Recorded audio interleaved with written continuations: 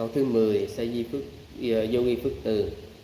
Và để đức cho con hỏi tất cả đều vô ngã khi chúng sanh chết thì cái thức lập tức tái sanh vậy cái thức ở đây là của ai? À, xin thưa đó chúng ta hiểu rất là nhiều khi chúng ta hiểu cái vô ngã đó nó không giống như cái gợi ý về sự vô ngã mà Đức Thế Tôn đã dạy. Cụ thể ở đây là trong bài kinh vô ngã tướng.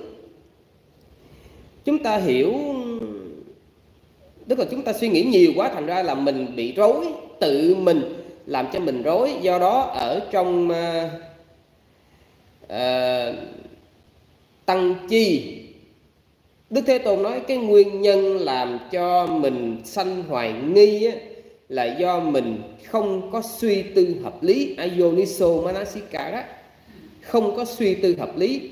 À, do đâu? Ở trong bài kinh vô ngã tướng á, Đức Thế Tôn ngài nói là cái gì? Cái thức á, nó là thường hay vô thường?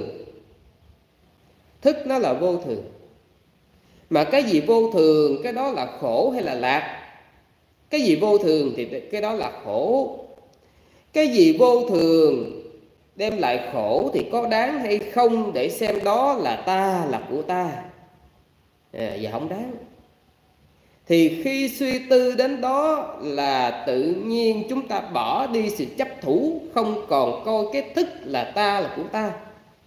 Đơn giản vậy là xong xong chuyện còn chúng ta đào tự chúng ta suy diễn. Chúng ta nghĩ là chúng ta đào sâu. Chúng ta nghĩ là chúng ta suy tư nhiều để gọi là nó tăng trưởng nhưng thực tế không phải. Mà chúng ta chỉ toàn tưởng tượng thêm thôi. Do chúng ta tưởng tượng thêm ấy, rồi tự mình làm rối mình. Còn thực tế lời dạy của thế tôn trong bài kinh vô ngã tướng mục đích để làm chi?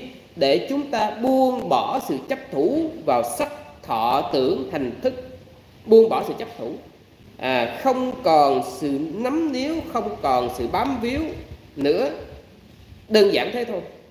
Ừ. Rồi